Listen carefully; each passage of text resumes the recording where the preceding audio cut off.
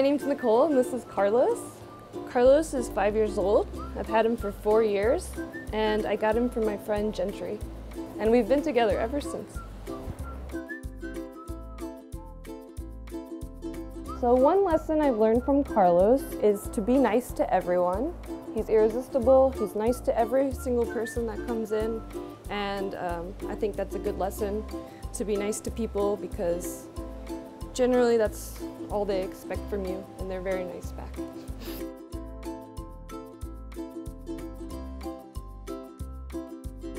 Another lesson I learned from Carlos is there are always time for naps. Anytime we just need to plop down and get some shut-eye, he's very good at that because he sleeps most of the day.